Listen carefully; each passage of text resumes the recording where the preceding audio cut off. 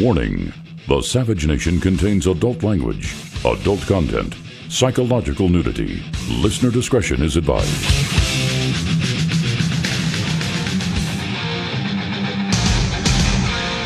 And now, America's most exciting radio talk show, The Savage Nation, home of unprotected talk, borders, language, culture.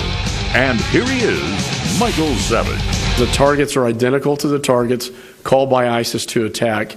Uh, so, my judgment, in my experience, is that this uh, was an ISIS inspired attack, um, and it has been opened as a terrorism investigation by the by the FBI. To see four of our military personnel, four U.S. Marines, killed on U.S. soil at one of our training centers, to me is unacceptable. In this fight against ISIS and the terrorists must escalate and we must win. We must prevail and defeat them. Now that we have the name, the key questions are what? Well, first of all, John, I don't, you know, I know that uh, th- what the name sounds like, but we don't know that it's a Muslim name. We know that it's an Arabic name. We don't know what this individual was believing in, and that's what they're going to be trying to determine. To clean out this government that we're all dead. Welcome to the show. Shall I repeat my words? Time to clean out this government of Islamic followers or Islamic enablers, or we're all dead. Welcome to the Savage Nation. Have a nice Friday. You know, my novel's called Countdown to Mecca. I'm starting to think I should have named it Countdown from the White House or Countdown from Mecca. It comes down to the same exact thing. Now let's focus on what I just played for you. Shall I do that? Mike McCaul, Texas, terrorism investigation.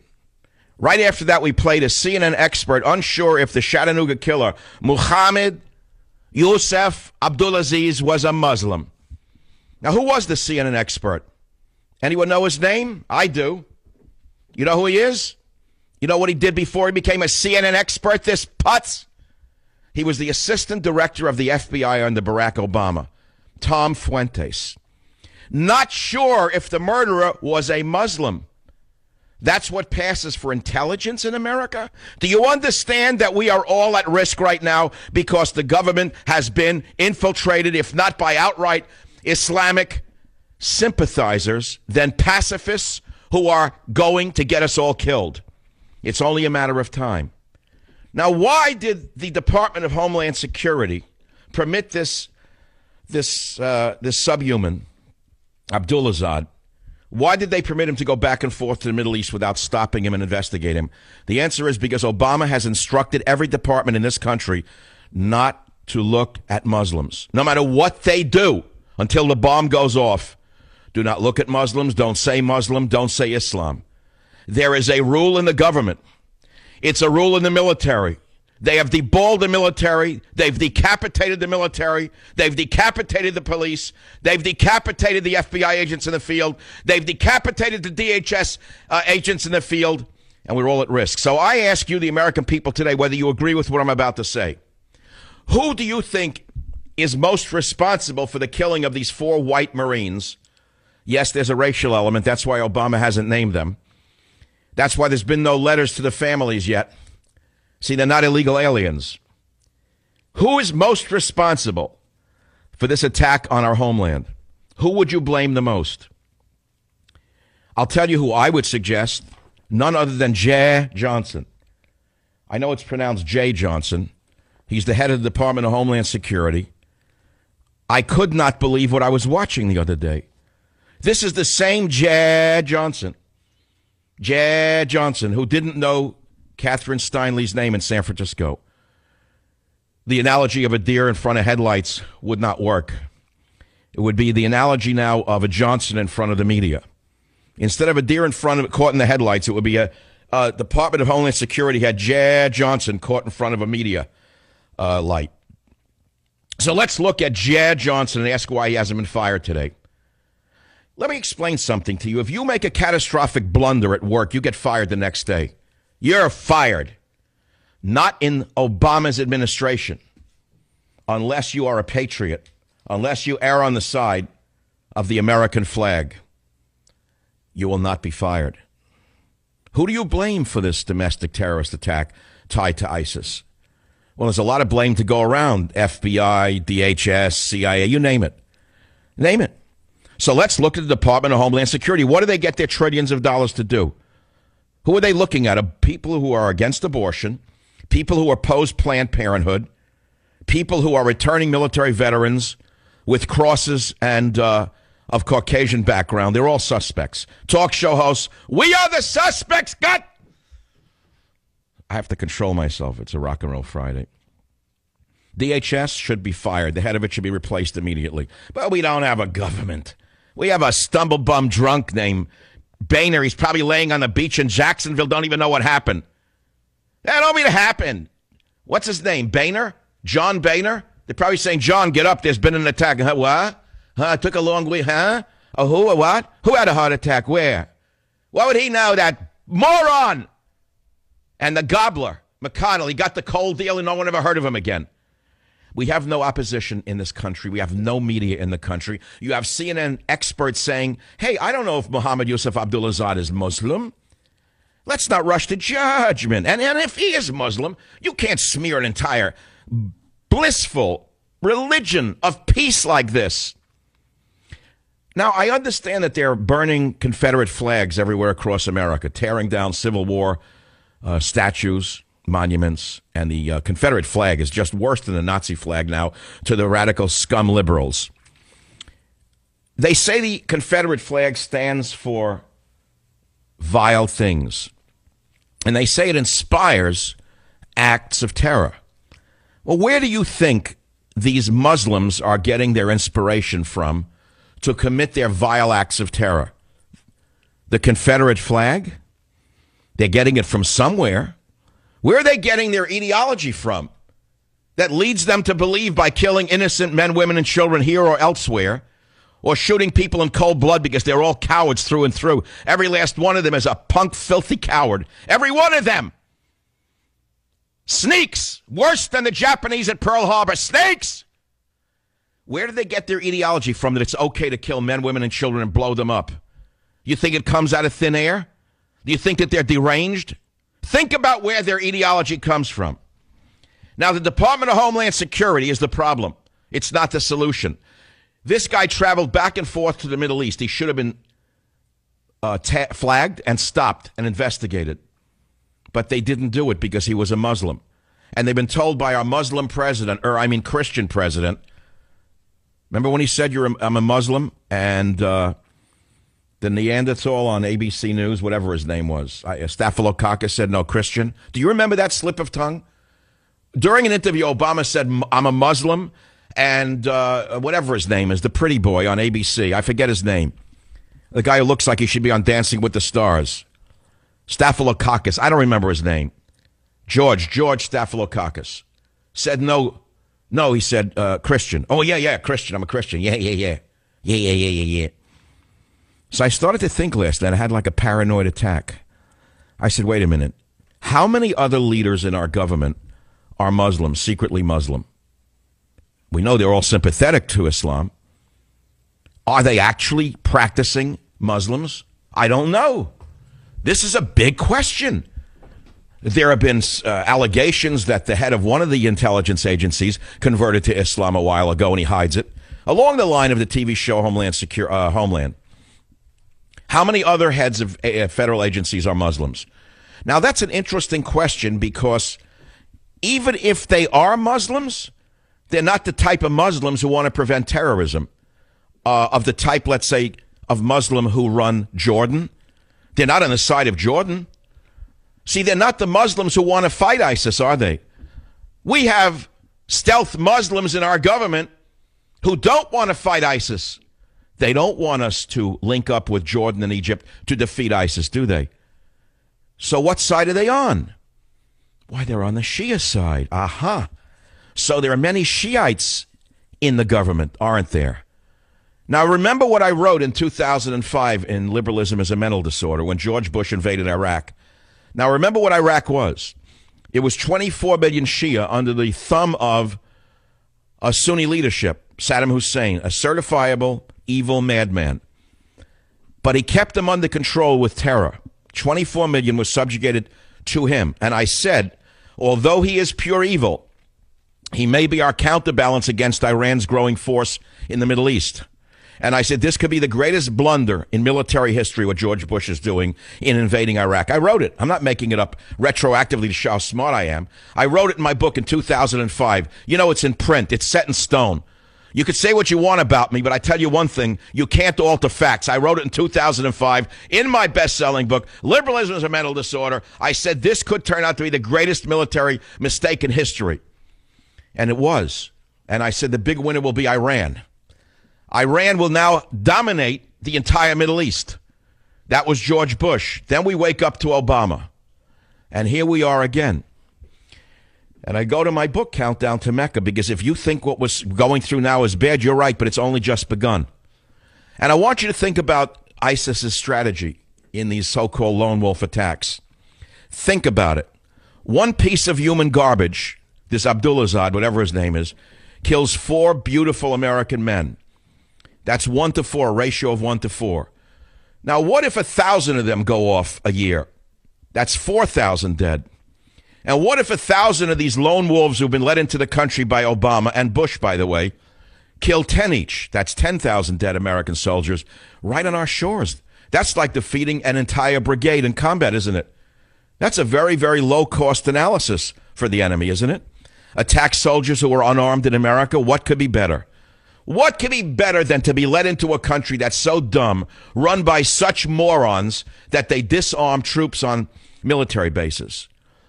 And speaking of that, on yesterday's show here on the Savage Nation, I told you who disarmed the troops. It was Bill Clinton in 1993. Shortly after taking office, one of his first acts was to take away weapons from troops on bases. I'm glad to see that Donald Trump's handlers are listening to my show and feeding him my show in sound bites which he then repeats on other shows, uh, but not on my show. It's the same as every other candidate in history. Every last one of these flaming so-called conservatives come on this show, and I can name four of them. And the minute they get a claim, they won't come on the show again. They get the same exact controllers and handlers that run Hillary Clinton's campaign or uh, Jeb Bush's campaign. They say, don't go on that savage show. Don't go on that savage show. He's too extreme for you. So don't expect to be hearing Donald Trump again on the Savage Nation. Just expect to be hearing Michael Savage's words coming out of Donald Trump's mouth within 15 minutes as one of his minions listens to this show, which goes off at 3 o'clock on the East Coast, 12 o'clock on the West Coast. All aboard, I'll be back.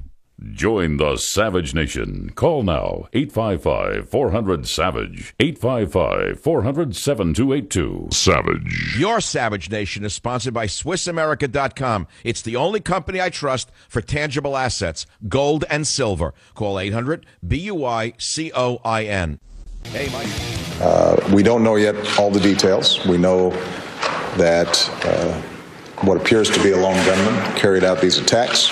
Uh, we've identified a name, and at this point, a full investigation is taking place. The FBI will be in the lead. Uh, working closely with local law enforcement. Now that we have the name, the key questions are what? Well, first of all, John, I don't, you know, I know that uh, th- what the name sounds like, but we don't know that it's a Muslim name. We know that it's an Arabic name. We don't know what this individual was believing in, and that's what they're going to be trying to determine. They're trying to cover it up from the get go. So the problem is the government. The government killed these men. Your government killed these four Marines. One, when Bill Clinton disarmed all military on bases, and two, when Obama told every intelligence agency to look the other way. Look the other way. If you hear a Muslim name, don't you dare look at them in any manner other than in a positive manner, or you'll lose your job. Basically, that's what it says. Now, again, we got to focus on individuals. Jed Johnson, head of DHS, failed us. I believe we've been infiltrated by pacifist Wall Street lawyers like him. If you look at Jay Johnson's background, and I'm sure he's a fine man from a great family Morehouse College BA, Columbia Law JD, grandson of sociologist and Fisk University president Charles Johnson, comes from a distinguished family.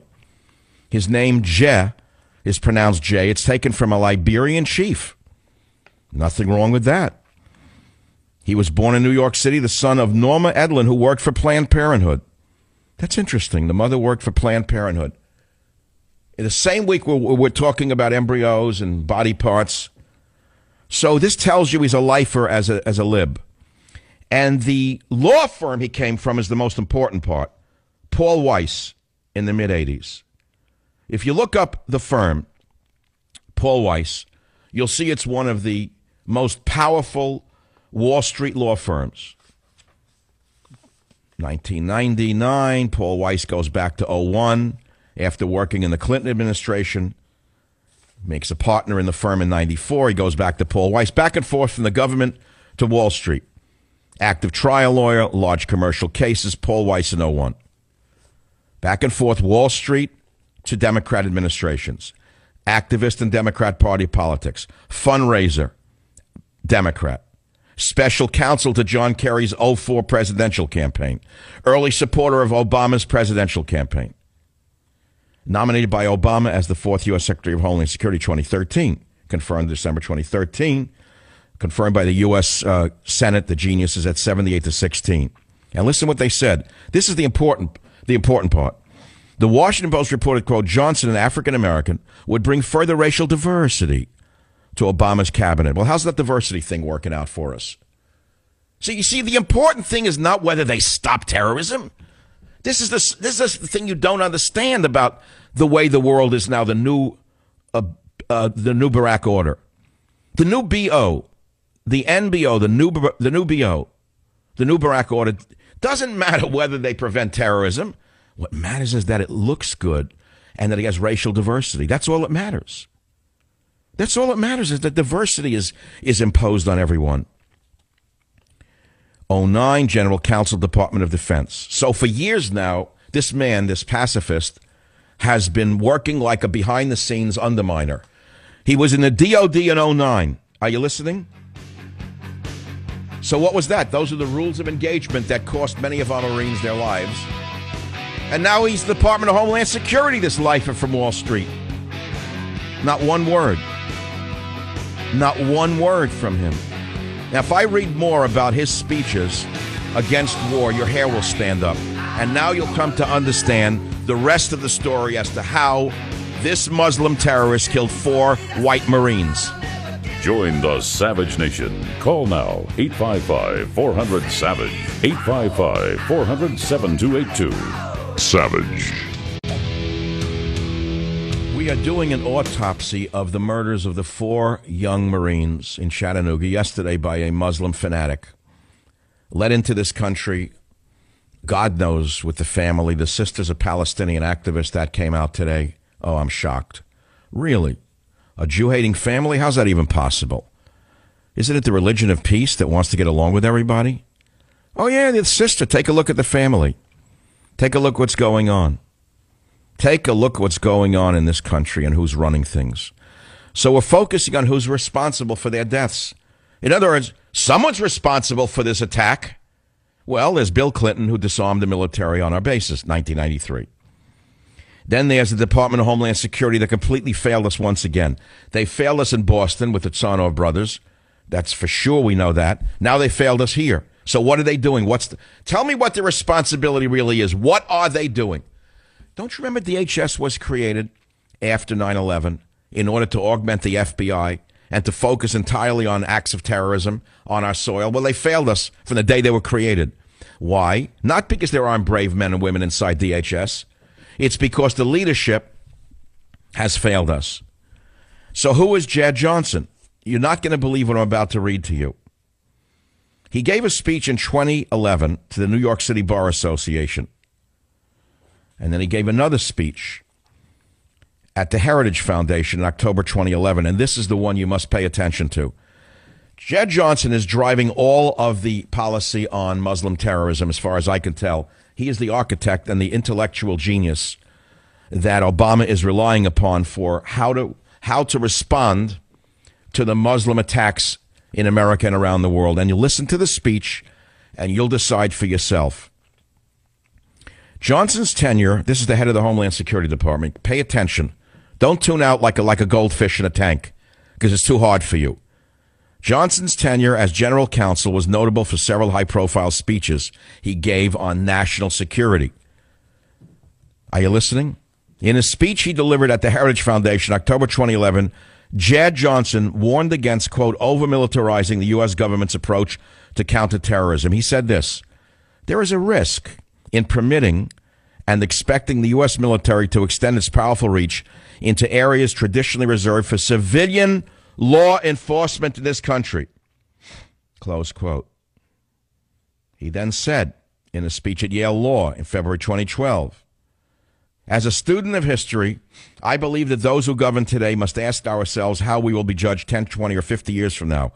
Our applications of law must stand the test of time because over the passage of time, what we find tolerable today may be condemned in the permanent pages of history tomorrow. Classic left wing wobbly approach.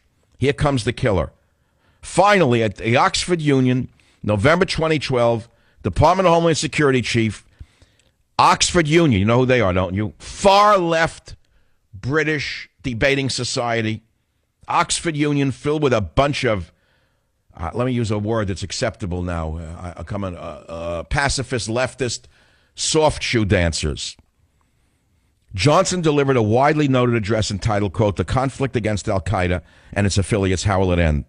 And he predicted a tipping point at which the U.S. government's efforts against Al Qaeda should no longer be considered an armed conflict, but a more traditional law enforcement effort against individual terrorists, Johnson stated.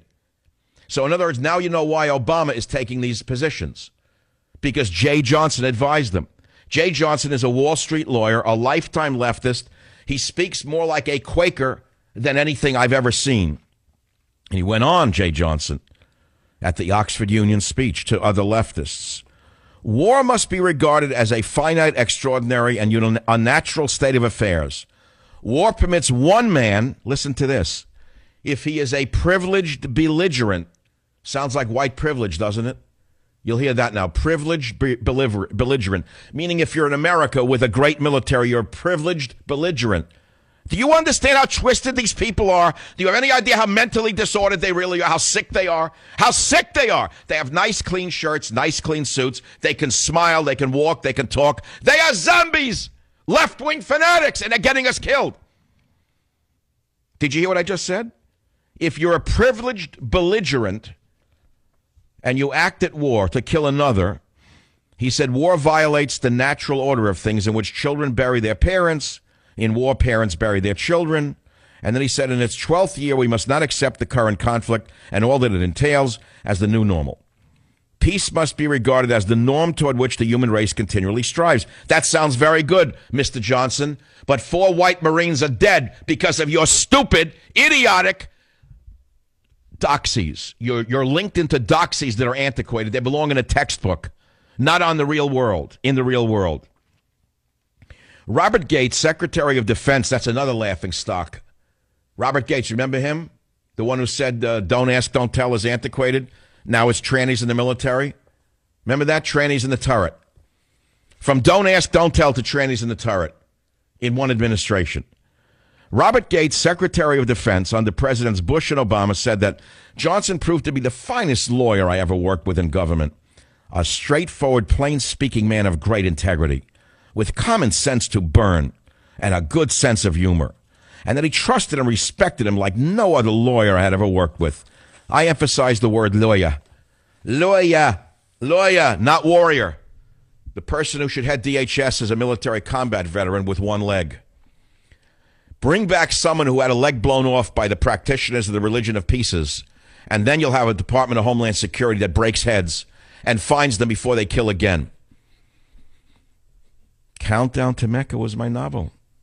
What did I predict? Many of you read it. I should rename it Countdown from Mecca because I think they're counting us down to the big one. My guess is that the big one is in the planning. My guess is is that if they caught a Muslim bringing an atomic bomb into the United States, a dirty bomb or a clean bomb, they would look the other way and say, "This is not happening. I see no evil, I hear no evil, I smell no evil." Because they are not wearing a cross, they are not returning military veterans, they're not a member of a militia, uh, they're not practicing at a shooting range. Therefore, they cannot be bad. The government that has everything upside down. We are all at risk you should be very scared indeed. they could set off the big one, and guess what? They'd be studying why it was done, what we did to deserve it, how can we stop it, is there anything we can do to prevent it from happening again? And the president is now on a golf trip in uh, Zambia while we sort out the pieces. So I've just read you a little background of the head of Homeland Security. I believe he is at fault. I believe he is too pacifist to have ever had the job. He is a Wall Street lawyer, a Democrat operative. He never should have been appointed to this position, and it's time for him to resign and we'll go back to Wall Street where he can make a lot of money and leave us alone so we can protect ourselves. Terrorism is eyed in the Chattanooga kill. No kidding. Mohammed Yusuf Abdulazad, the terrorism expert on CNN, didn't know if he was a Muslim. Did you hear this? Went to the Middle East back and forth, and DHS didn't, nothing uh, ticked off. If you fly to Florida, you're on a, on a, on a, on a watch list. CNN said he's good looking and popular like Tsarnaev. You hear this? This is what passes for the news. Oh, incidentally, immigration to swell U.S. Muslim population to 6.2 million. This spike of Muslims coming into America is a smart move when you think about it. Well, it's very smart if you're Barack Obama and you have sympathies in this direction. This is what you do. You don't bring in Christians from Syria. You let them to rot. You let them rot in Syria so they have to go to Jordan. No, you bring in Muslims from Syria. That way you break up the hegemony of the white Christian male. Now, on a personal note, I'm going to switch gears for one moment. You can call on this horrible, horrible murder, set of murders, if you want. I don't know what you're going to say that I haven't said, because what I just told you has not been heard on radio yet. Nobody on radio dares do the work I do. And I did it because I am terrified that something far worse is going to happen as a result of the failures of the Quakers who are running our uh, intelligence uh, units. Now, I happen to like Quakers, the few I've met, but their policies are disastrous with regard to self defense. The Quakers' policies are now being enacted by Obama domestically, except against Republicans and the population itself. Obama is a, a, lifetime pacifist, except when it comes to his domestic enemies. He has more hatred for you, if you're a member of the Tea Party, than he does for Al Qaeda. He has more resources focused on you as a member of the Tea Party than he does on ISIS. Now, here's something personal.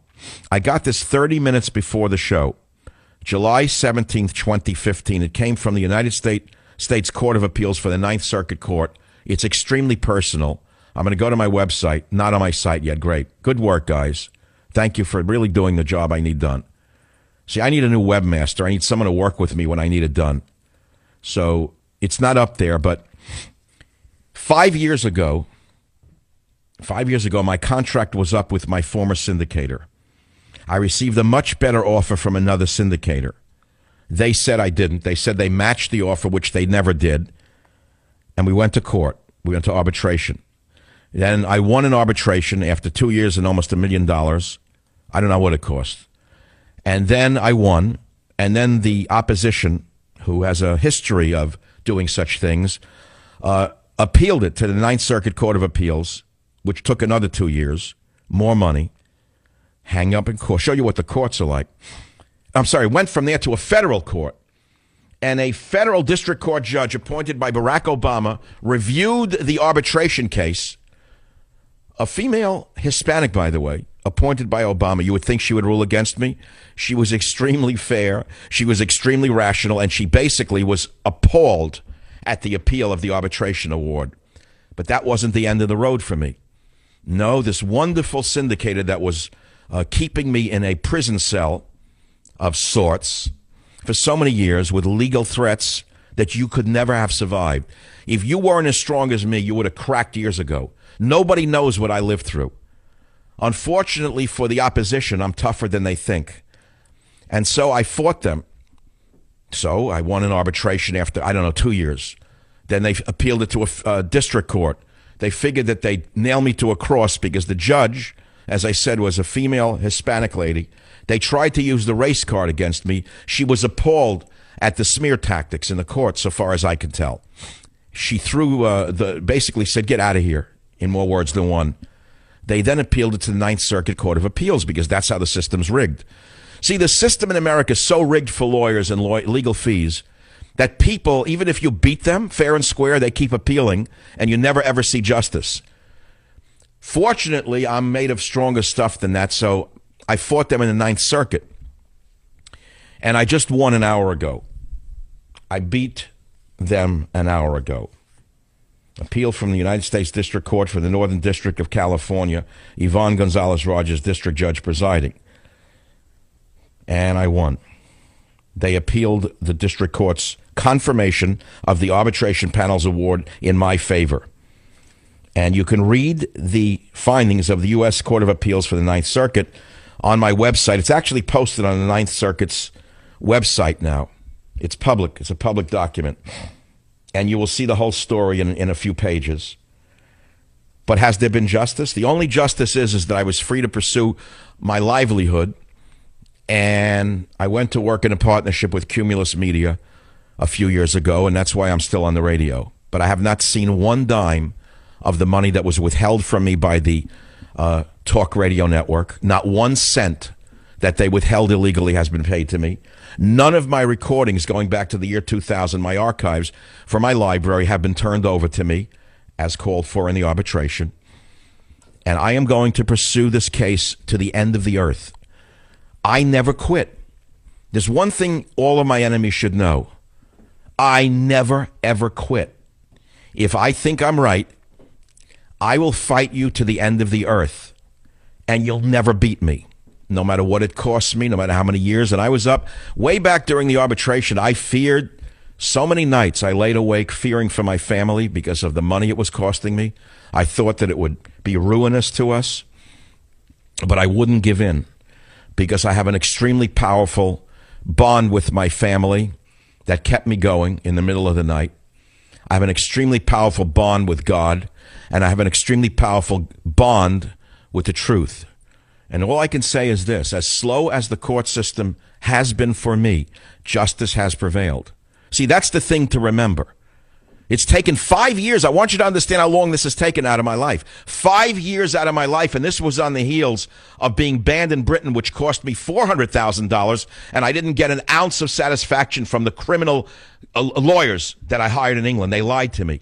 They ripped me off. They said they can get the case, this and that. That was two years, from 09, then, then this now. I've been in litigation now for seven straight years, and I'm not dead yet. Do you understand what I'm saying to you? Have I been weakened by it? No, I've been strengthened by it. I've been cauterized by it. I'm not weaker. I'm stronger because they say that which does not kill you makes you stronger. If you want to read the case, it'll be up on michaelsavage.com. Eventually, uh, uh, right now, you can go to the Ninth Circuit Court of Appeals if you're in the legal profession and read all about it. I'll be right back. Join the Savage Nation. Call now 855 400 Savage. 855 400 7282. Savage. My Savage Nation is sponsored by SwissAmerica.com, the only company I trust to protect my wealth with gold and silver. Call 800 B U I C O I N. America is reeling from the deaths of these four young Marines killed on our homeland because of a breakdown in the intelligence apparatus in America under Barack Obama, who was looking the other way, refusing to acknowledge anything negative about Islam, anything about ne- negative about uh, those waiting to harm us on our shores. And we're talking about that. The media is complicit by saying we don't even know if he's a Muslim yesterday on CNN. And that guy Fuentes is the former assistant director of the FBI to show you how twisted they all are. Now, Latest survey shows that 52% or more of Americans now fear radical Islam. Finally, they're waking up, even the dummies. My, I'm going to tell you something right now. My best book in history is coming out in October. It's already starting to sell like crazy. Government Zero. Go to Amazon. Government Zero. Listen to my subtitle The Inside Story of the Progressive slash Islamic Takeover. From best selling author of Stop the Coming Civil War and Countdown to Mecca, Michael Savage reveals and sounds the alarm about how progressives and radical Islamists are working towards similar ends to destroy Western civilization and remake it in their own respective images. These two dark forces are transforming a once free republic into a socialist third world dictatorship ruled by government zero. Read about it, order it. It's the last book you're going to get from me and the only book you're going to need. Government Zero, Amazon now. Join the Savage Nation. Call now 855 400 Savage. 855 400 7282. Savage.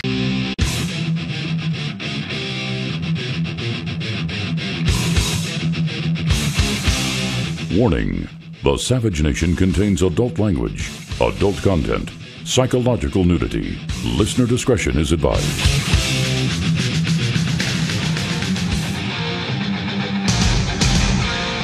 And now, America's most exciting radio talk show, The Savage Nation, home of unprotected talk, borders, language, culture.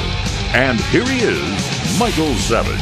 This matter continues to be investigated as an act of terrorism by the FBI's Knoxville Joint Terrorism Task Force, along with the Chattanooga Police Department and our other federal, state, and local partners.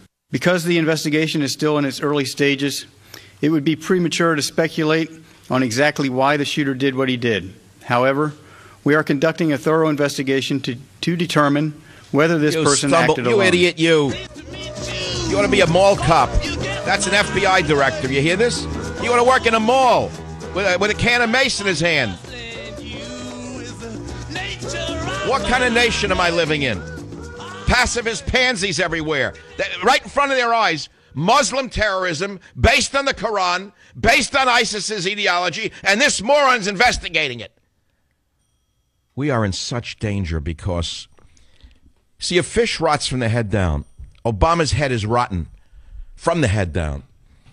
His brain has been cooked to the extent that we cannot protect ourselves. Or let's put it this way we can protect ourselves, but the question is how do we protect ourselves from this government? That really is the question.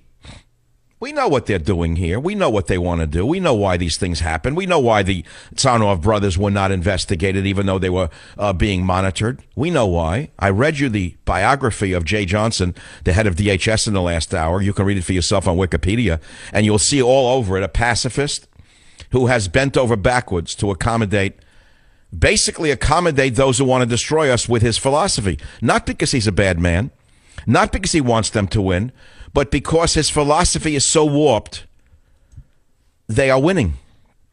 Four men are dead because they were disarmed by Bill Clinton. That's Hillary Clinton's husband, in case you don't know there's a relationship. So the policies of Bill Clinton disarmed American troops on our bases. And now his wife wants to be president again. God knows what she'll do to the military next. What's left of the military after this Muslim sympathizing regime is out of office if they ever leave office.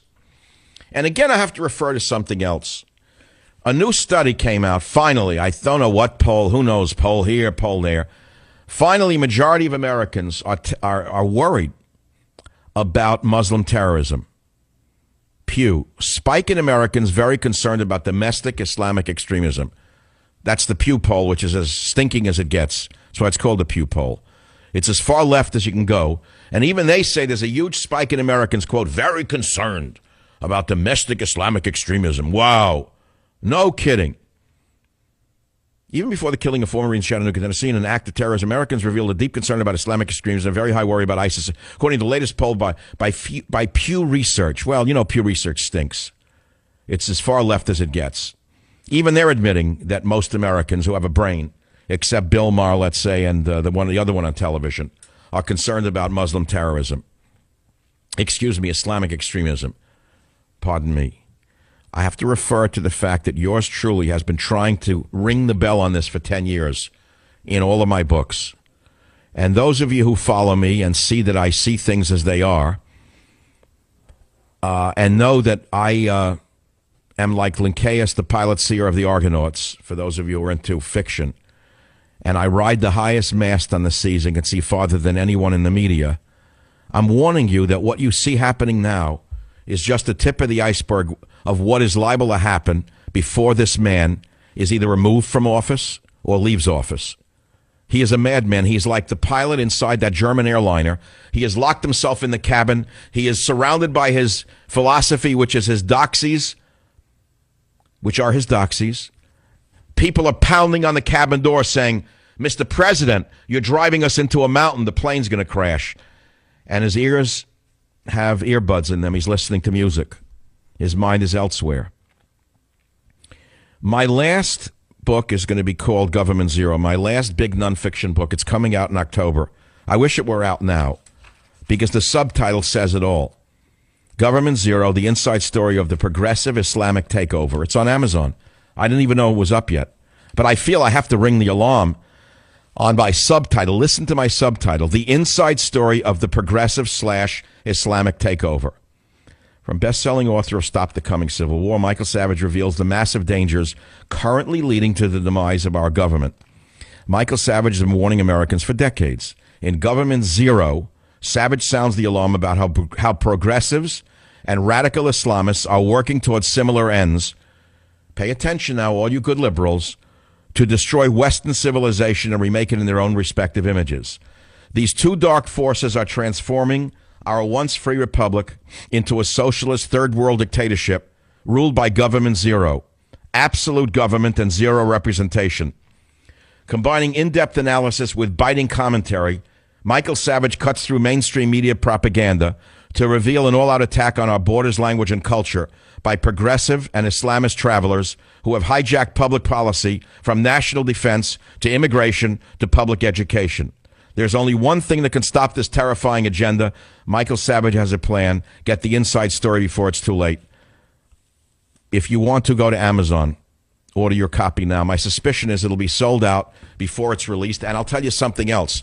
Just as Stop, just as Countdown to Mecca, although it beat three other books, was not listed by the progressives at the New York Times on the bestseller list, what they did to Ted Cruz, but he finally got them to list his book. They did not list my book, Countdown to Mecca, even though I beat three major fiction writers. They wouldn't list the book in the top 15. There is a war against the truth. There is a war against conservatives. There is a war against our survival. And I am the true Paul Revere of our time. Not a character in a children's cartoon book, but I, Michael Savage, am the actual Paul Revere of our time. And if you remember, those of you who know me going back to the year 1994, before it was ripped off by a certain talk show host who turned it into a comic book, Michael Savage ran the Paul Revere Society for many years. Do you remember it? You remember the events that we had at the Concord Airport Hilton, the Airport Concord Hilton, the Marines uh, uh, Veterans Memorial Auditorium?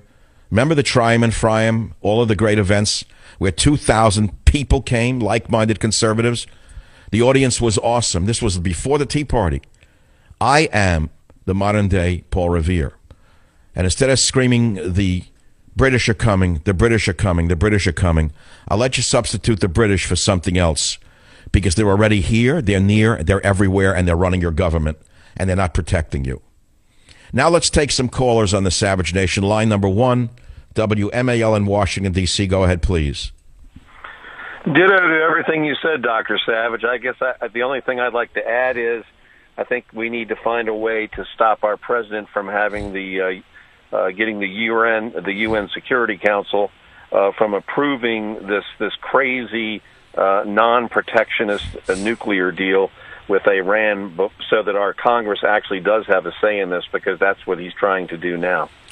Yes, but Congress already lost the battle a few weeks before this when Obama cleverly outmaneuvered them and gave himself almost uh, authoritarian powers over the deal with Iran. They have a very short window to oppose it, and they're going on vacation in, a, in about 10 days. You know that, don't you? Jesus. They're going on vacation. Boehner already has the suntan lotion and the case of booze uh, waiting for him in Jacksonville with his condo, the retirement uh, package, in my estimation. The gobbler's going to the chicken farm. Uh, I don't know. I don't know what happened in my lifetime. I know how it happened. I've seen it happening. I've I've watched it. The, the country come down like the twin towers. I have watched the country collapse like the twin towers in front of my eyes. The entire edifice is collapsing in front of our eyes. Here you have four young white men killed by a Muslim extremist, and the media has the nerve to play a clip from this moron, Fuentes, who used to run the FBI assistant director, who says, We don't know if he's a Muslim. Did you hear that soundbite? It's sad. Yes, I did. It's, Fuentes ran the FBI, assistant director. He yesterday went on CNN and says, We don't know if he's a Muslim. They're bending over backwards to disassociate any acts of violence or terror from this one religion, while they're quick to rush to judgment against any Christian who might commit an act of terror. Have you noticed that little change? What a tangled web they weave. What a tangled web it is. What a tangled web it is. This is why yours truly, the Paul Revere of our time, calls it Government Zero, the inside story of the progressive Islamic takeover. What you have not yet been able to put together, which I've done for you in my final opus, is show you how the leftist, the leftists called progressives, the communists, socialists, are working hand in glove with the Islamists to destroy America. Do you understand that? WABC Mike, welcome to the Savage Nation. What's on your mind? Thank you. Uh, I just want to say that the emotion, the lack of emotion uh, that the president showed with the death of four Marines, uh, he was like he was reading the ingredients of a cereal box. And you contrast. Well, that's because he's not. They were not Freddie Gray. They weren't criminals in the back of a police van known for felonies. See, he had he has sympathy for only a certain um, segment of the population, segments of the population. Great sympathy, for example, for illegal alien children coming across the border with illnesses. Those are people he has sympathy for. He's- Felons in the back of police vans. Felons who try to steal the guns from police and shoot police. Then he gets emotional, doesn't he? He emotes quite well. Gets all worked up. Why is that? why was it? Why was there no emotion? Or it, I would love to see anger. I mean, if any normal person would be angry at the murder of four, and you can't even say Islamist terrorists. No, we know why. Take a look at the pictures of the four young Marines who were killed. That'll answer your question. If Obama had a son, none of them would look like them. Does that answer your question? He can't relate to them. I'm sorry. I, I mean, I'm too late in life and too late in the show, in the sh- history of this country, to mince words anymore. If Obama had a son, none of them would have looked like the Marines who were killed. Does that answer your question? Guess it does because you haven't said yes or no. Okay, that's it. There are many other topics. If you care to comment on any of them, my victory in the Ninth Circuit Court of Appeals must appeal to someone out there. We can touch on that. We can touch on all the other stories of the day. It's Rock and Roll Friday. Let's lighten it up a bit. Let's uh, let's give the audience something to uh, to laugh at. Maybe a little meatball recipe or something about Teddy. I know I can't do it today. Just can't do it. I just don't have it. I'll play music, but I can't get off this topic too easily because these four young men are dead because of the policies of this administration. Make no mistake about it. This didn't happen in a vacuum. DHS failed us. The director of DHS should be fired today and replaced by a returning war veteran or a policeman from the streets of America who's faced these, these radical Muslims before in a shootout. Then you'd have someone who could protect us. Rudy Giuliani should be made head of the DHS if you take the job. I wonder who Donald Trump would appoint to the, the Department of Homeland Security. I guarantee you it wouldn't be Jeh Johnson. I guarantee it wouldn't be a Wall Street lawyer I, who never fired a Daisy BB gun. No, I can guarantee that one. No, sorry, Bob. What would you do if you were given the job under a new administration as Department of Homeland Security? What would the first thing you would do? Uh, do I know what I would do? I would do what uh, Representative Peter King said.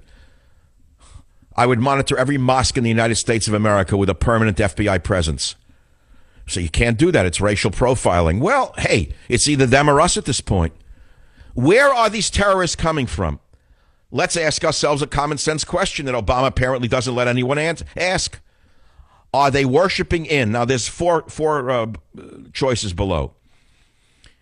Take a look at all of the domestic terrorism events, with the exception of that punk white man who shot those poor black people in the church, which I railed against with great emotion. Tell me where 99% of the terrorists worshiped. One, a church. A, a church. B, a synagogue. C, a Buddhist temple. D, a Hindu temple. E, a mosque. F, in front of a Satan statue. And figure it out. And then go from there. And then you could do some police work to prevent the next attack. But that's that's old fashioned. That's Broderick Crawford's era of police work. That's a, I'm I'm talking to you like a film noir character.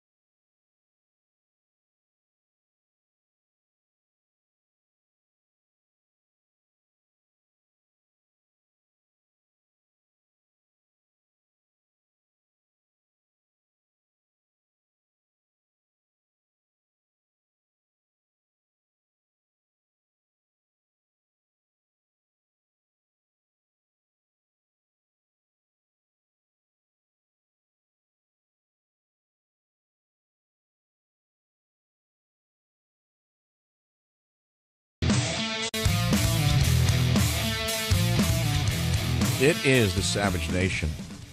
Yeah, it is government zero, isn't it? Would you say this government is a government that will protect you or can protect you? Anyone who says that is a fool. Boston Marathon bombing, where were they? Four dead Marines, where were they? Today they don't know why he did it, how he did it, who he was involved with. They don't know if he's a Muslim. They don't know why he did it, how he did it. Now they'll tell us he's just a lone wolf who had psychological problems. He had been picked on because of his race and religion, and he was somehow getting even with the Confederate flag. Ah, come on. This is government zero at its worst. At its worst. And there's the president with his lackluster statements yesterday. Oh, ho hum. What, what is it now? For who? Who were killed where? What? Wait a minute. Uh, hold on, Valerie, just a minute now. Tell Zarif we'll get back to him in a minute. We have a little problem here. We'll get back to him with the the uh, El Eid uh, celebration the uh, the Skype celebration we're having all over the world. What? Four Marines? Uh, what do they look like? Oh, really? Okay, I'll, I'll, give a little speech. None of them look like Freddie Gray? No? All right, little speech. Let's go to clip three. You'll hear your president at work. Here's his heartfelt message. Here it is, clip three. My main message right now is obviously uh, the deepest sympathies of the American people yeah. to uh, the four Marines that have been killed uh, All right, you got is, through that one. All right, uh, go back to the LI, the, the, the, Skype celebration for the Muslim holiday. Go ahead. Go back on Skype with uh, with your team, your team of leftist progressive Islamists who just did a deal with Iran. Go ahead. Go back to your Skype celebration. Get out the pita, get out the uh, hummus. Go ahead. Get out the rug. Join the Savage Nation. Call now 855 400 Savage. 855 400 7282. Savage.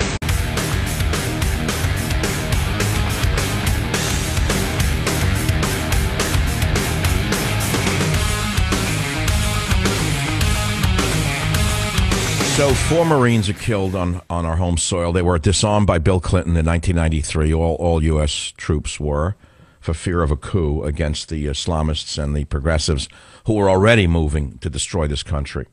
And they knew that the only response that they could never, ever, ever fight effectively would be a military uh, one. And so they destroyed the military from within, disarmed the troops. And then Obama finished it off by decapitating the leadership in our military from top to bottom. From the captains above, they've been purged out of the military or resigned as a result of the war against real warriors in the military, which is why we're not winning the war against ISIS because he's not fighting it, number one. And number two, if you took a look at the people he's put in charge, they would sound very much like the FBI agent who I played in the last hour, who went on in circles about they don't know the motive of the uh, shooter. Here's an interesting article from World Net Daily Obama's pre terror tweet Happy Eid al Fitr. Obama sends out pro Muslim message two hours before Chattanooga attack. And here's the article by Cheryl Chumley. President Obama, in what should emerge as a public relations disaster, sent out a tweet just two hours before the domestic terrorist attack in Chattanooga that left four U.S. Marines dead. And the tweet said, in essence, Happy Eid al Fitr, all you Muslims in the world. His tweet from the White House account is reported by Breitbart From my family to yours, Eid Mubarak at POTUS to Muslims celebrating Eid al Fitr. Obama, with his wife Michelle, also issued a statement about Eid al Fitr extending, quote, the warmest wishes to Muslims in the United States and around the world, close quote. And he wrote this As Muslims mark the end of the month, they are reminded that Ramadan is a time to reflect spiritually, build communally, and aid those in need, the first couple said. The White House Twitter account showed while Eid marks the end of Ramadan, it marks a new beginning for each individual, a reason to celebrate and express gratitude in this holiday. The Obamas also reminded of the importance of respecting all faiths. He said, they said, quote, as Muslim Americans celebrate Eid across America, the holiday is a reminder to every American of the importance of respecting those of all faiths and beliefs. That's a sort of threat to you and I. Quote, this past year, New York City public schools announced adding Eid to their official school calendars alongside Christmas, Hanukkah, and other holidays. An acknowledgement of the great diversity and inclusiveness that adds to the richness of our nation. Michelle and I hope today brings joy to all of your homes. Obama's official remarks about the shootings that killed four Marines and left a Marine, a sailor, and police officer critically injured are they were committed at the hands of a lone gunman. As WND previously reported, Mohammed Yusuf Abdullah was born in Kuwait and had a Jordanian citizenship that immigrated to America with his family and became a naturalized citizen. He was shot and killed by police. Obama, in a tweeted video in the minutes after the Chattanooga shooting, called the incident a quote heartbreaking circumstance. Notice the word circumstance. Emphasis on the word circumstance, meaning it happened by accident. And he asked Americans to pray for the families who are grief stricken. And I want everybody to understand what we will be through. We will be thorough and prompt in figuring out exactly what happened. Well, Mr. President, we can save you millions of dollars. You can pick up the shell casings now and go home. You can send the, the, the FBI home now to their diversity training sessions.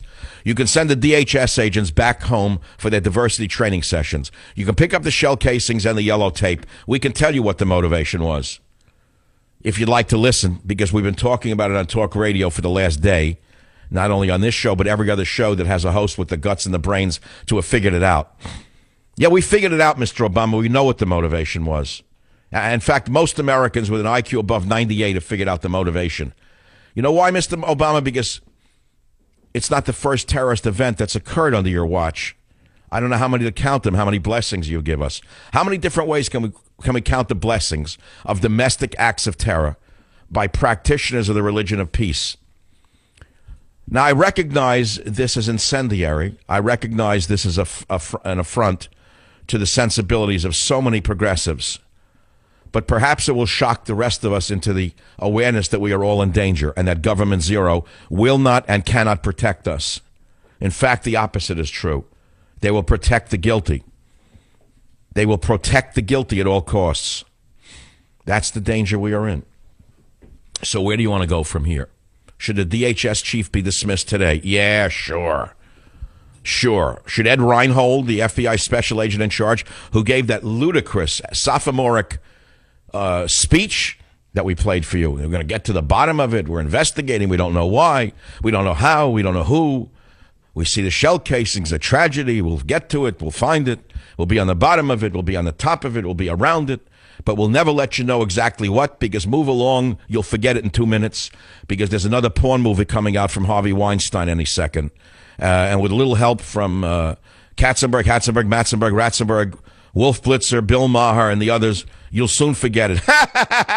and now, it's the transgender of the moment. You'll forget it by Sunday. There's a sports game coming up. Another transgender to be in a beauty parade and be heralded as a hero. No, these are the heroes, Mr. Obama. They're dead. They're heroes. Uh, those who mutilate themselves in the name of egotism are not heroes, my friend. But okay, it's one man's opinion. I realize I'm in the minority. But since when did the minority become a crime? Since when did it become a crime to be in the minority of opinion in America?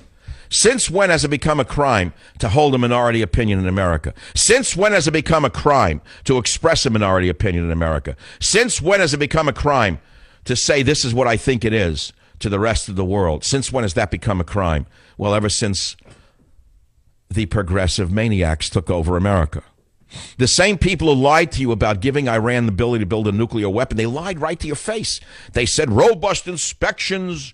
If they don't eliminate the uranium and the plutonium and the, the centrifuges, why? No, they'll never get their money back that we're holding. No, never. Then yesterday, the stooge, Susan Rice, I could not believe that soundbite. She admitted that there will be no Americans on the inspection team. Instead, the inspectors will consist of fellow travelers with the Iranians. And there's no outcry the next day. Boehner can't be found. He's already on vacation. He heard a vacation's coming up in August. He took an early break. He got out of town early. The gobbler went to the, to the turkey farm to get ready for Thanksgiving in Kentucky. He got the cold deal. That's all he wanted. That's all. He can go home now.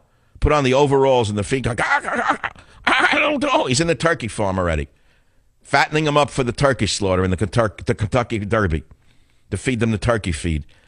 There is no one home in the opposition, zero. Oh, yeah, there's an occasional guy like the one I really like, Senator Cotton. But he's another minority. He's like Mr. Smith goes to Washington, laughing at him. An actual returning military veteran, treated like dirt by the vermin in the media. I'll use the word that doesn't offend as much by the coelenterates in the media, because the word vermin has a, a certain connotation that offends liberals the Coelenterates in the media, C O E L. enterics. Look it up. Uh, the uh, invertebrates. Let's put it to you that way. It makes it easier for you. The invertebrates in the media. That works. That's better. I would say that's more acceptable to the older folks who listen to the show, who are offended by my blunt, plain talk. I'll use less offensive language, less offensive verbs, and then maybe we'll win the hearts and minds of the Islamists and their uh, liberal uh, friends. If we use less offensive language, I'm sure they'll put down their rusty knives and their AK 47s and their uh, pressure cooker bombs. If we're, if we're less offensive, they will put down their pressure cooker bombs and their rusty knives and their AK 47s. See, it's the offensive language that, that triggers them. It's not the fact that it's a thousand year war that's been waged for 1,000 years, only now it's on our home soil because of no opposition from government zero. Okay, I think I've said it in so many ways, and I think I've said it more eloquently than expected. And now I'll take some calls. I don't know where to begin. I have calls from all over the country. Oh, I know what I want to do. Wait a minute. I'm changing my mind. I was looking through my novel, Countdown to Mecca, for one passage. And I was going to say to you, we need organized crime to flush out the criminal terrorists waiting to strike us because the government can't do it. You know, in World War II, there's a very famous piece of history. A ship was bombed on the New York piers and sunk. And the U.S. government was at war, and they knew that they didn't have the ability to penetrate the labyrinth of the U.S., the New York waterfront. So they went to the mafia. I think they went to Lucky Luciano, and they made a deal with him. And they said, if you use your criminal friends and your criminal apparatus to flush out where the Nazis are hiding, we will give, we'll do a deal with you. We'll let uh, Luciano come back from Sicily. I believe that's how it worked out. So I was inspired by that, and I invented a character for my novel that everyone's writing about. So here he is, uh, Saul Minsky, a Jewish criminal this time, in Countdown to Mecca. Everyone's talking about it. So I want to read you one page, uh, pages 18 and 19 from Countdown to Mecca. So it's about Jack Hatfield, who has been banned by the media, and none of the other reporters will have anything to do with him. And I write this none of the other reporters came over to chat with Jack Hatfield, even though he had saved San Francisco from destruction, associating with an accused Islamophobe or gay basher or climate change denier or any of the dozens of other politically charged landmines that crippled free speech in America was tantamount to professional destruction. However, one man did come over to talk to the journalist, someone who was an even bigger pariah. Standing between Jack Hatfield and the door toward which his quarry was headed was a short, powerfully built, wide shouldered man. He had thinning, swept back gray hair, a broken nose, a jutting chin, no neck, and piercing gray eyes. His gray sport coat was bulging under the arm. It was Saul Minsky, one of the West Coast's most notorious and elusive mobsters. He wasn't just Teflon, this guy was porous. Criminal charges sailed through him and hit other people. Stooges he had carefully put in place, often without their knowledge. He approached Jack casually as the reporter headed from the meeting room of the Hyatt Hotel. Jack's manner became just as casual, but he couldn't contain a slight thin grin of bemused respect. Saul was a strange breed. Of all the big time criminals he had tracked over the years, Jack had never come across one who was as staunchly patriotic as Saul Minsky and less hypocritical. Saul did not pretend to be anything other than what he was. Yet he also worked hard to make sure there was never collateral damage among the general public. He didn't deal in drugs, didn't deal in human trafficking, mostly shilled for corporate clients and their money laundering. That didn't merit a Nobel Prize, but he wasn't as bad as the Vietnamese, the Russians, and other local urban gangs. Mr. Jack Hatfield, said Saul, you just pissed all over one of my biggest clients. Jack closed the flap on his tablet and stopped to talk to the mobster. The businessman or the skunk? Ha, Saul laughed. I knew you were good, even when you were investigating my operations back in the day. That's high praise coming from you, Jack acknowledged. This isn't our first rodeo, truth teller, Minsky reminded him. You know, I always respected you. Even when I got close to finding out what the cops never could. If Jack expected the mobster to react negatively, he was disappointed. The blockhouse of a man merely snorted. Especially when you got close, he said, his grin matching Jack's. When push comes to shove, you may find we disagree on less than you think. Minsky's hail fellow, well met approach put Jack back on his guard. Acquaintances who were this chummy out of the gate bore watching. Jack intended his next words to put Saul in his place.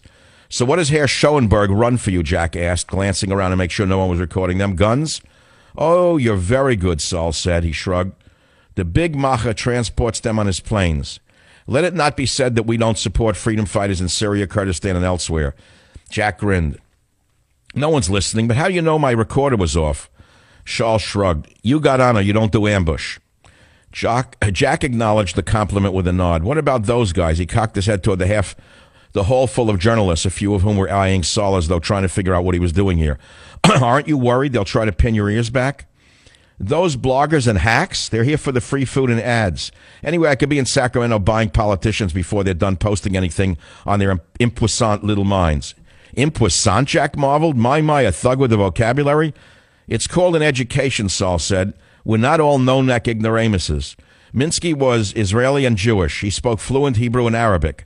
Having grown up in Bethlehem, his father and mother were slaughtered by Arabs in front of his eyes during Sabbath prayers in their little house. Saul was saved at the last minute by a special forces squad of IDF.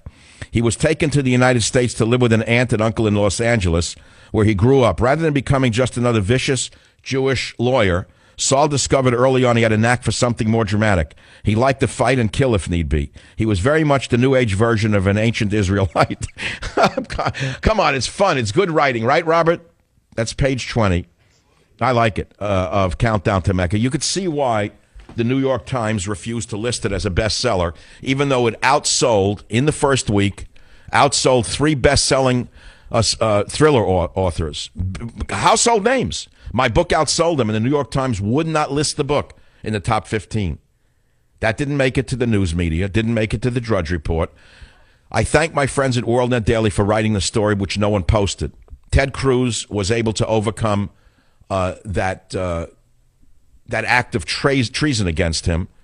I was not, because I am simply one man alone.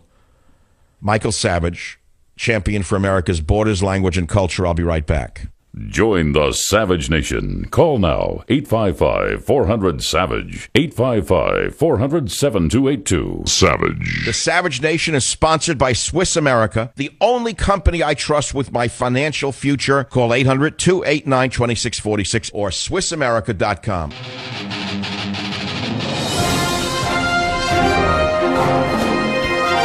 right, here we go again. New York City. New York City Muslims with machine guns stopped.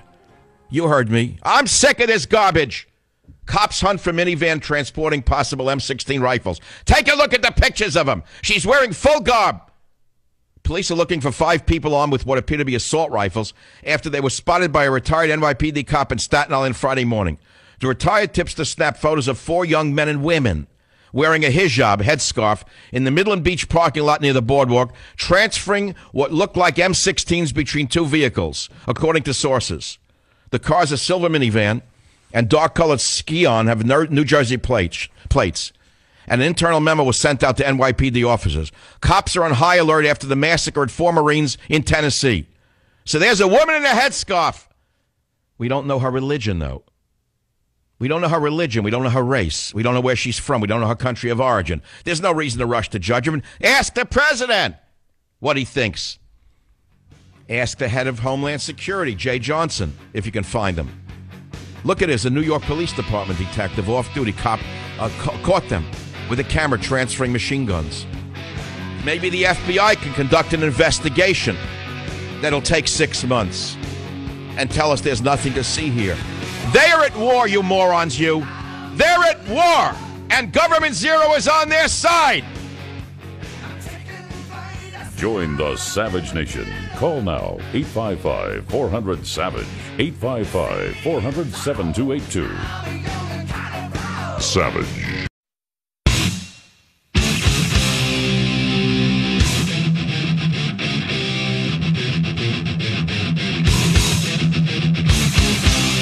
Warning The Savage Nation contains adult language, adult content, psychological nudity. Listener discretion is advised.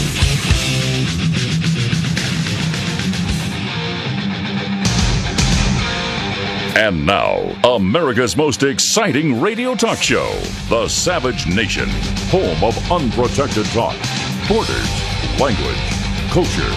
And here he is, Michael Savage. We have breaking news out of New York City. A day after four Marines were assassinated by a Muslim terrorist tied to ISIS, cops are looking for a minivan transporting possible M16 rifles with Muslims aboard. Police are looking for five people armed with what appear to be assault rifles after they were spotted by a retired NYPD cop not DHS, not FBI, in Staten Island Friday morning, sources said. The retired tipster snapped pictures of four young men and a woman wearing a hijab headscarf in the Midland Beach parking lot near the boardwalk, transferring what looked like M16s between two vehicles. The cars, a silver minivan and dark colored Scion, have New Jersey plates, and bridge authorities have been notified to be on the lookout. An internal memo was also sent out to NYPD officers. Now, cops are now on a high alert following the massacre of four U.S. Marines in Tennessee Thursday by Mohammed Youssef Abdulazeez. Law enforcement source said they were worried about the woman in the headscarf. She's carrying what appears to be an AK 47 assault rifle. NYPD is actively searching for these subjects and both vehicles. Extra cops have been stationed at the Staten Island Mall and Staten Island Ferry and military bases in the borough, cops said. Now, listen to the punchline. The weapons could be either paintball guns or airsoft rifles, and police are checking local paintball facilities. Sources added. Now, who would the sources be other than DHS or FBI? I want you to go to the New York Post.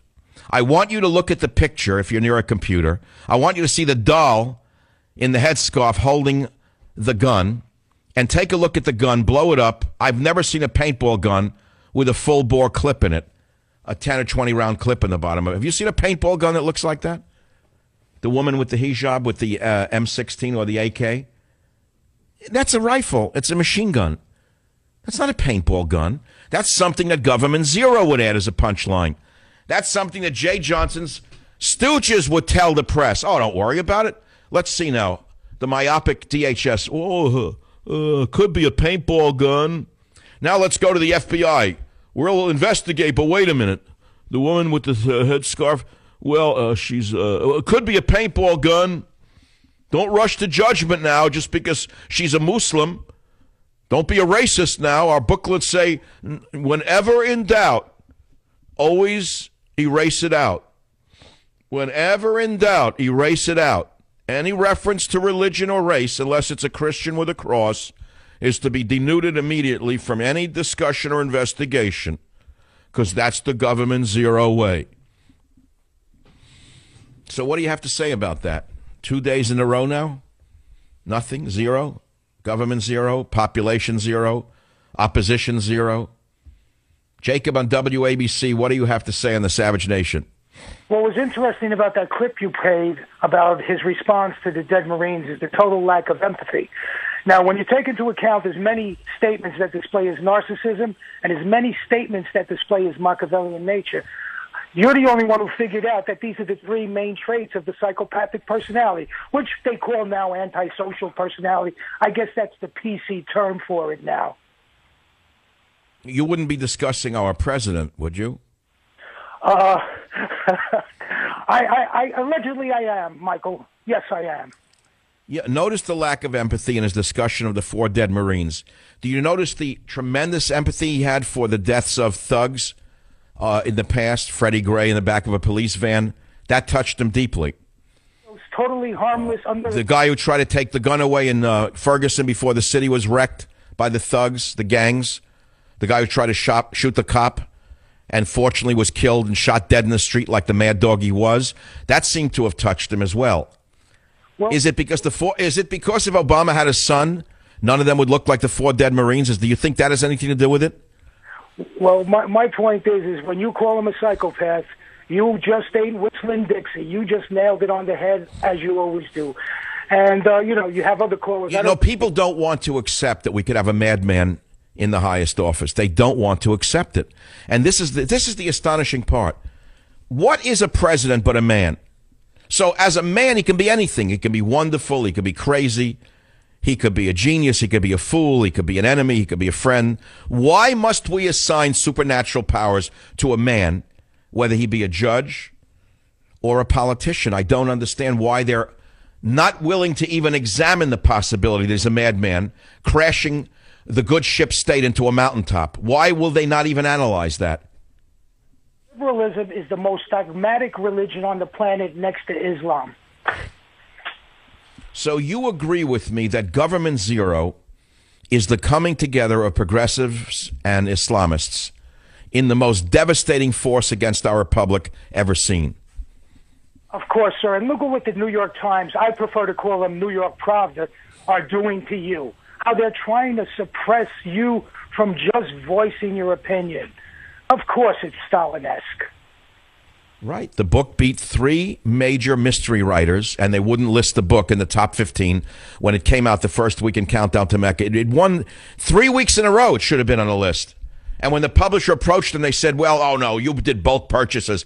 They pulled the same crap on me that they did Ted Cruz, but he has more friends in the media than I do. He has uh, the Rush Cartel, he has Breitbart, he has the little yackers and talk radio who are on his side. I don't have anybody. But I'm sending you a free copy of Countdown to Mecca, my friend. I like your voice. Certain voices I like. KUGN, that's K Eugene, Oregon. Eugene, Oregon, a once wonderful city occupied by Americans until it was penetrated by escapees from San Francisco's liberalism who brought a more virulent form of it to Eugene, Oregon. Brian, welcome to the program. What's on your mind? Thank you, sir. I was just describing Eugene that way yesterday to a, an out, a person who doesn't live here. Anyway, well, Eugene, Oregon was once a, a rock solid American city. And what happened in the 60s was a lot of the psychos from San Francisco penetrated Eugene, Oregon and destroyed it. You you couldn't be more correct. That's exactly how I described they it. They did it to Portland. They did it to Eugene. They have hijacked the entire state. So what's on your mind today? I just finished reading Countdown to Mecca, and I wanted to ask you. Excellent read, by the way. I wanted to ask you. I'm an author myself. Have, do you purpose? Do you know? Have you consciously or subconsciously made Saul almost a mirror image of yourself? oh, come on. No, I'm not a gangster. I've never been in the criminal world. Why would you say that? The character that's closest to me is not in the book. Brutally honest, and he and he or, or you, like him, really relishes crushing, killing, if you will, figuratively, your radio competition because you do, and you relish. Look, you, you're a writer, so you know what fiction is. You take pieces of yourself and you project them into whole persons, but they're not you. If Shakespeare invented characters that range from a king to a fool, would you say that the fool was Shakespeare or the king was Shakespeare? The answer is he was not a king nor a fool. He was a writer. Exactly. It's hard to say. You can't paint him as one or the other. Right. But it takes a very strong personality to be a fiction writer who can project personalities without getting lost in them. You see, this is the problem for Hollywood actors like Sean Penn. He acts like a tough guy, waves guns around, bashes people's heads in in the movies, and then talks against guns and knives off screen. Talks. Uh, I never saw anything like the disconnect, the disassociation. But he's an example of weak-minded individuals who've risen to the top because of men like uh, Katzenberg, Hatzenberg, Matzenberg, Ratzenberg, Spielberg, and uh, Weinstein. They take phonies like them who are so disassociated from reality that they think that they're the characters that they're playing in the movies. This is a challenge to all of us to not become the character we're playing in our novels or even on the radio. Many people think that they can act out anything they want in real life, but you'll find out that those in the radio business are often not what they sound like. You walk that in your writing. You walk that fine line like probably no one I've ever read who is. Well, uh, what, what kind of books do you write?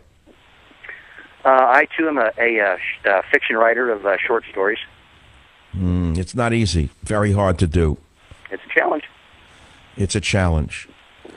Now, since we're talking about writing, uh, I mean, we're going from terrorism to writing now. My favorite top, one of my favorite topics, and an escape for me, is this book, Government Zero, that's coming out in October. Will be my last big nonfiction political book. I won't do it. I'm also working on a book about my dog, which is going to be a, a picture book and the photographer's coming out next week for that. Would you believe it?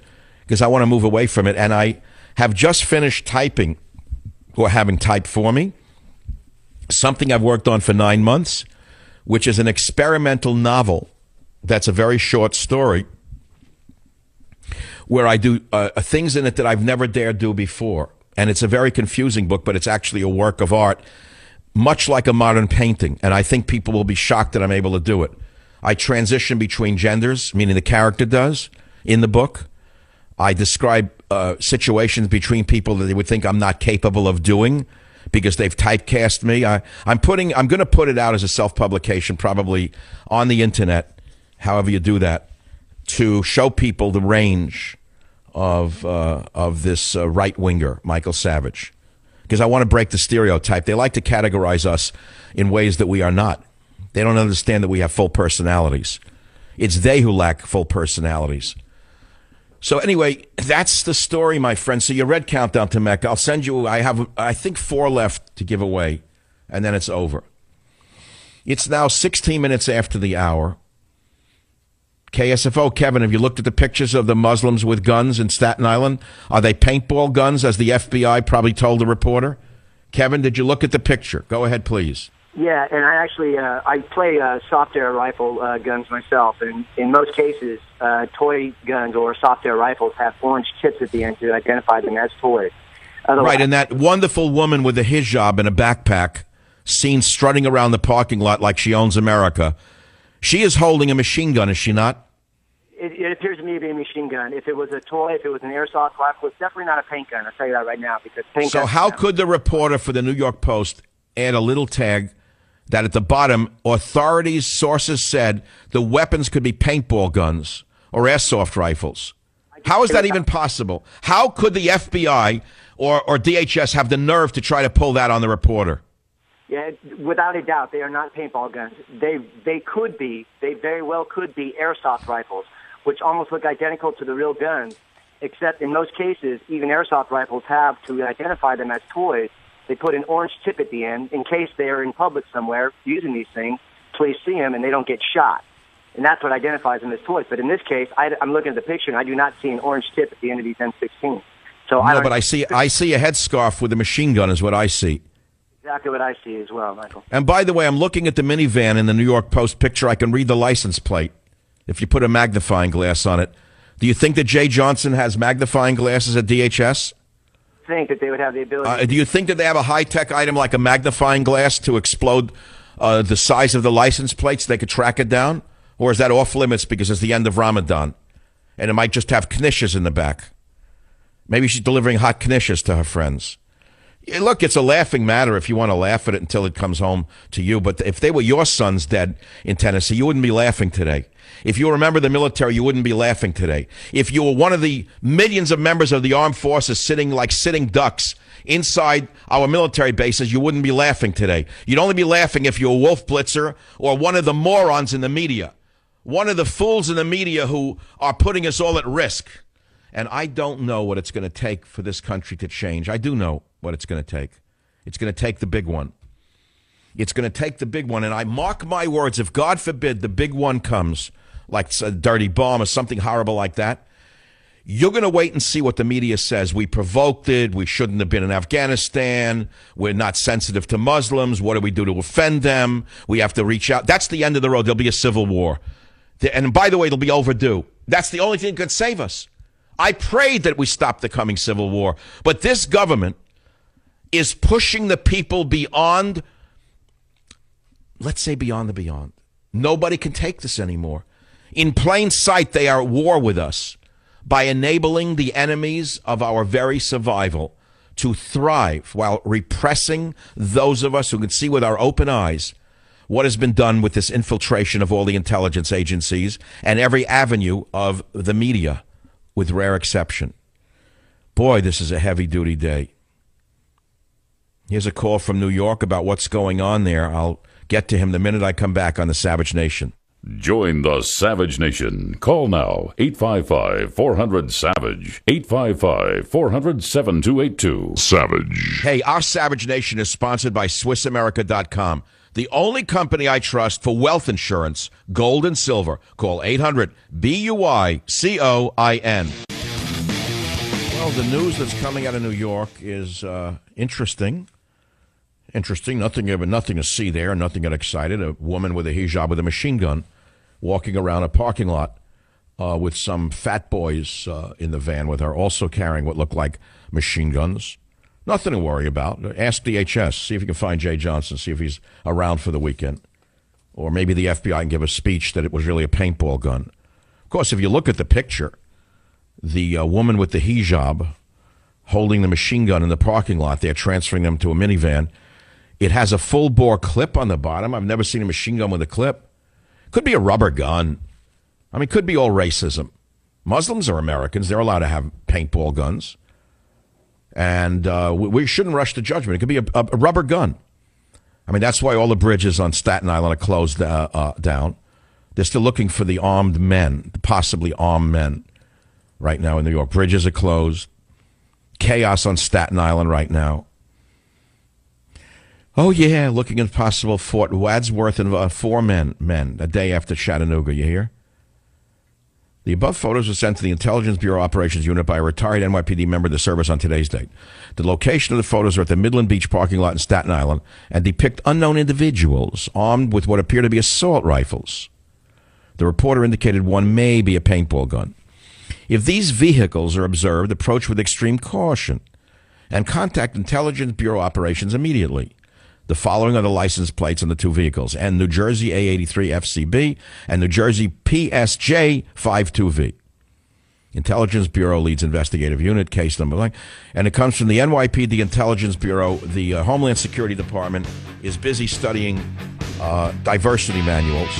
And the FBI has no comment. They have to consult first with Susan Rice, Valerie Jarrett, and the other members of Obama's uh, immediate surrounding Praetorian Guard of sorority members before they will utter a single word. Have a nice moment. Have a nice break. I'll be right back. Join the Savage Nation. Call now 855 400 Savage. 855 400 7282. Savage. If you're. Cover, the country has been infiltrated from within DHS is being run by Jeh Johnson, a fine man from a great family. By the way, I'm not saying that sarcastically. Unfortunately for us, he's a Wall Street lawyer who was inside the Defense Department when the rules of engagement made it impossible to fight and win a war. He's running DHS. Was stared stared at the reporter when asked about Kathryn Steinle in San Francisco. Didn't know who she was. Not one word about why he missed the Boston Marathon bombing why DHS missed Chattanooga. And now today we have a lockdown in Staten Island, New York, just hours ago. New York Coast Guard bases were in lockdown over an armed woman in a hijab transferring what looked like a machine gun, picked up by a retired NYPD detective. There she is in all her glory hijab, sunglasses, backpack, and some fat boys with her. I don't know who they are. They're in normal garb, meaning ugly American clothing, disgusting, idiotic costumes. They look like clowns in the Ringling Brothers Circus from my era, which passes for, a, for an outfit today, an undershirt and shorts, like the average American. Retired officer snapped this photo on Staten Island July 17, 2015. Potential security threats causing traffic headaches on Staten Island Friday. A be on. The, I haven't found the van now. They're going in for hours.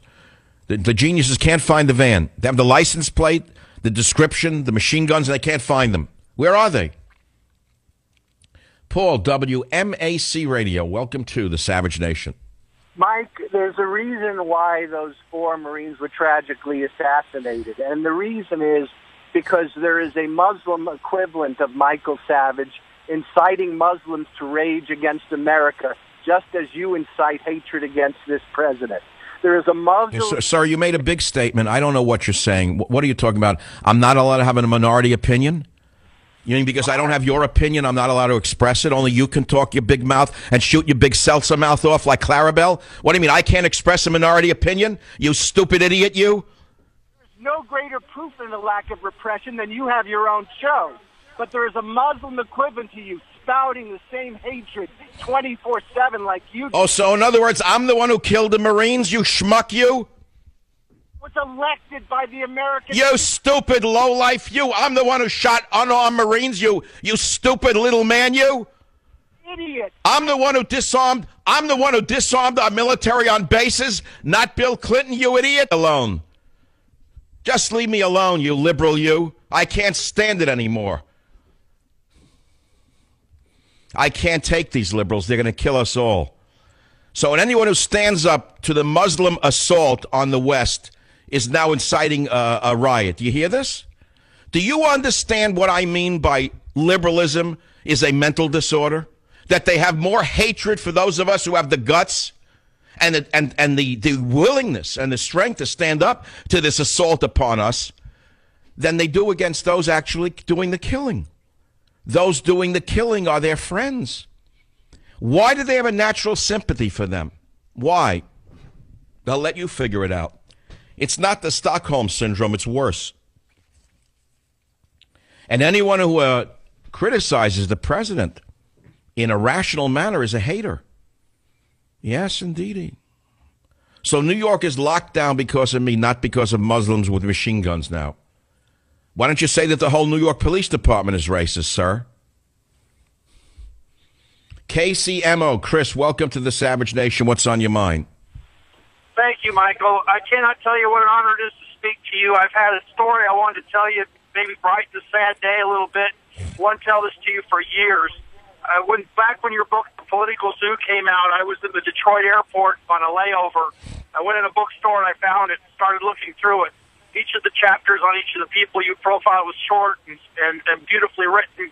And I just started reading it, and I got so engrossed in your book that I literally, Michael, I missed my flight. It was the last flight of the day. I got stranded in Detroit because of your talent.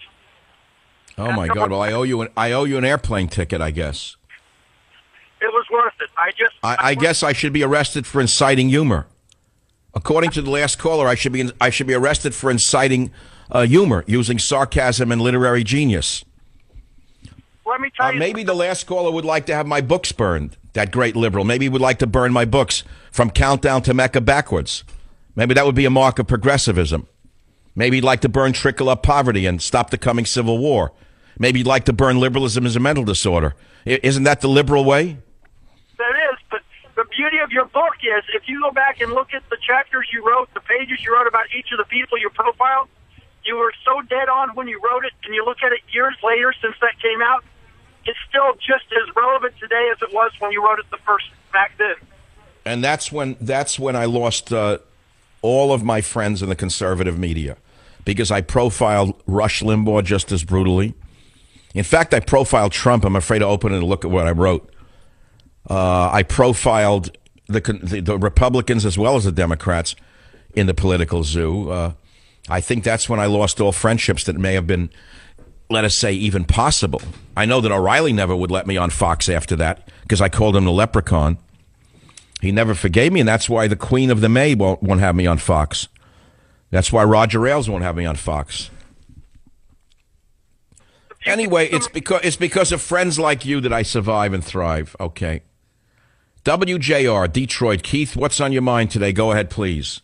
Hey, yeah, I, I got the station wrong. I told him something else.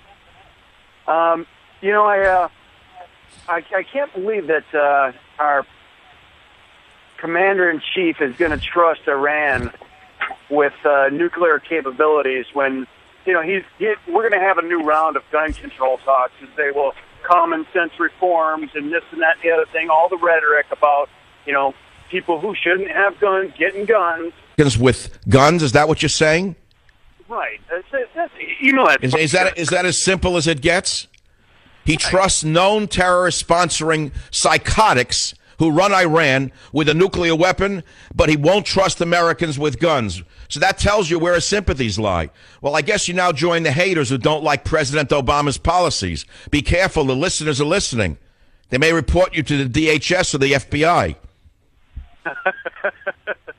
They're probably tracking my phone now. Of course they are, because you're more dangerous than the Boston Marathon bombers and Abdullah Mahula Mahula Mazumala Azabab, who killed the, uh, the the four Marines yesterday. They- He wasn't on their watch list. They were listening to talk radio to see the dangerous callers. it's a uh, sad state of events, isn't it? It's uh, very, really uh, Staten Island is the issue right now. Uh, let's see, what do we have to tell you? I mean, it's getting worse out there.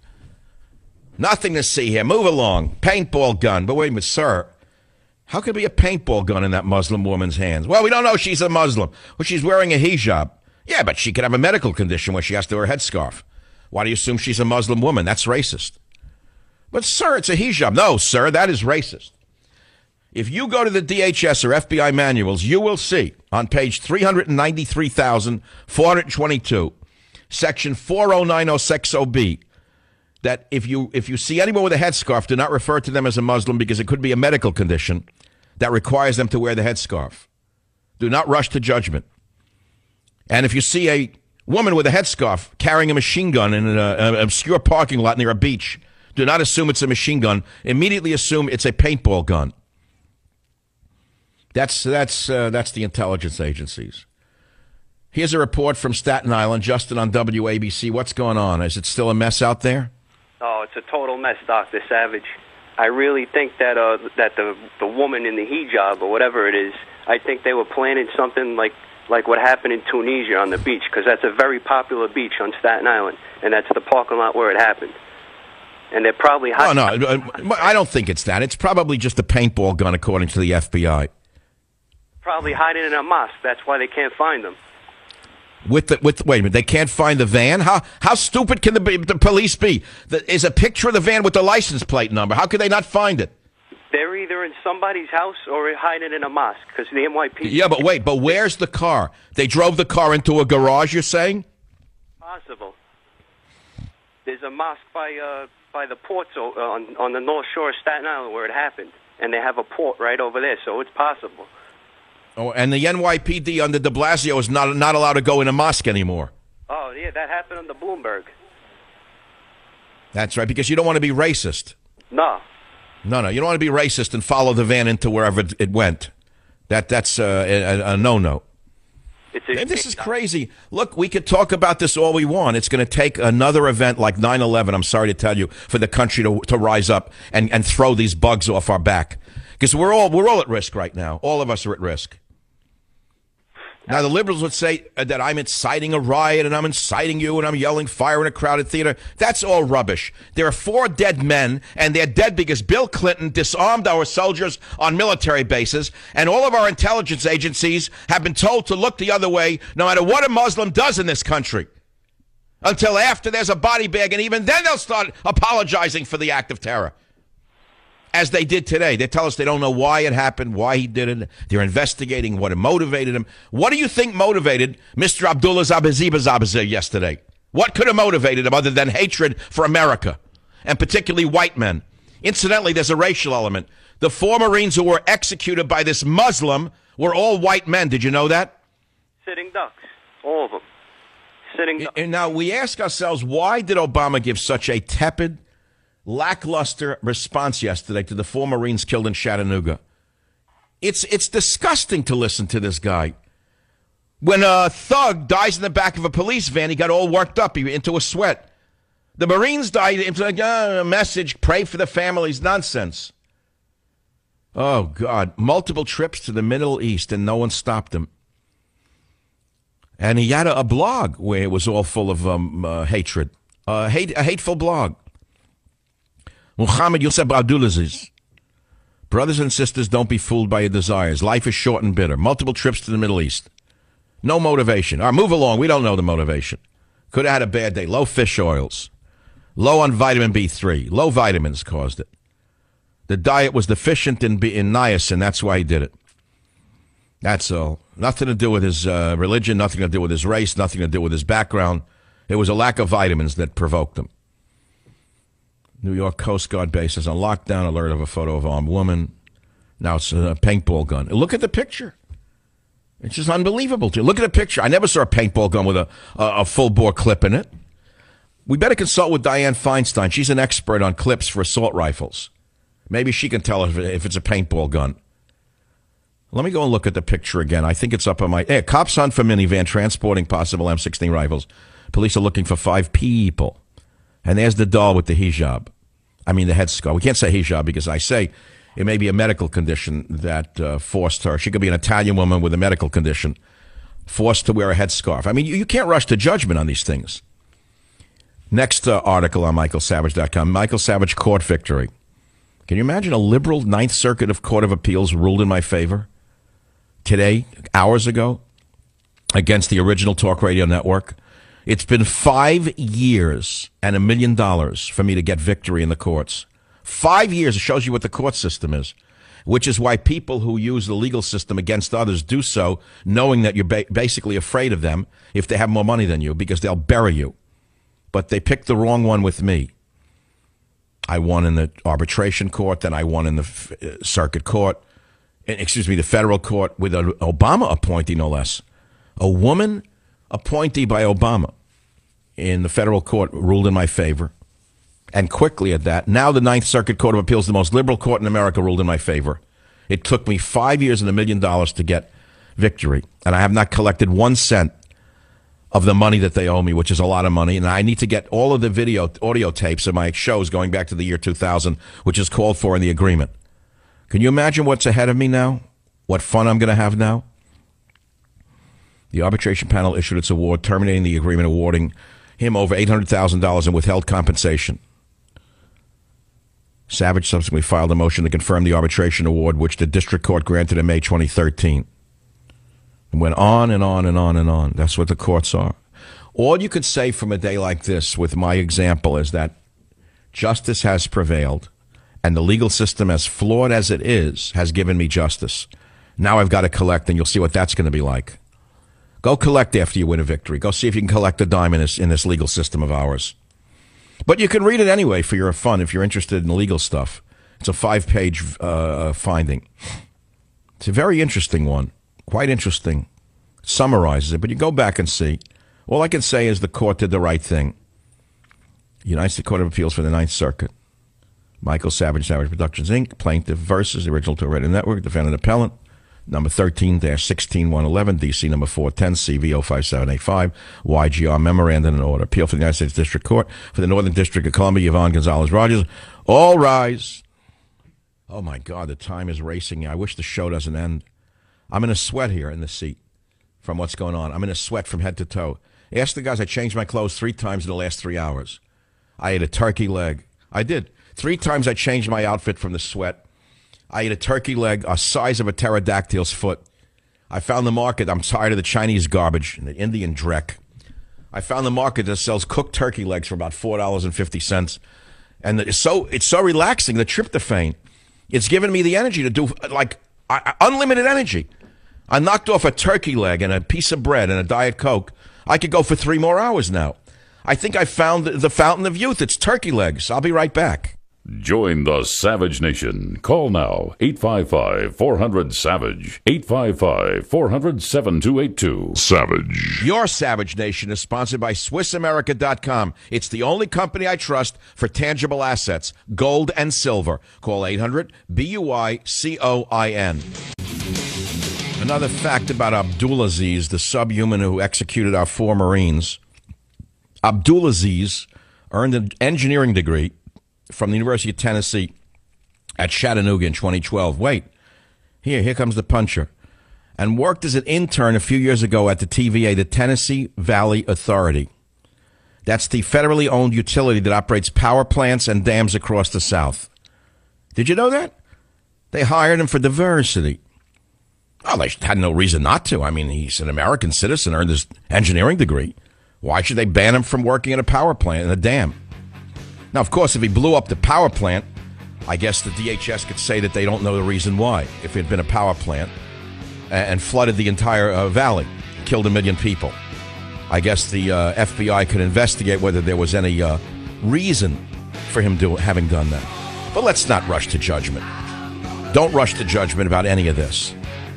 Don't be a hater. Be a grader.